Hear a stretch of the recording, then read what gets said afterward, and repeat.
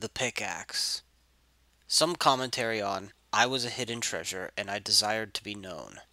Tear down this house.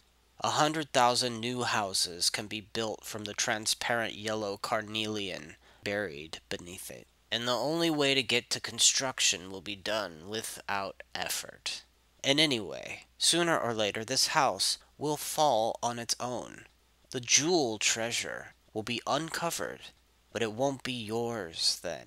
The buried wealth is your pay for doing the demolition, the pick and shovel work.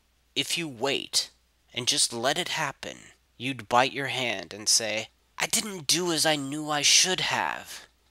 This is a rented house. You don't own the deed. You have a lease, and you've set up a little shop where you barely make a living sewing patches on torn clothing. Yet only a few feet beneath are two veins, pure red and bright gold carnelian. Quick, take the pickaxe and pry the foundation. You've got to quit this seamstress work. What does the patch sewing mean, you ask? Eating and drinking.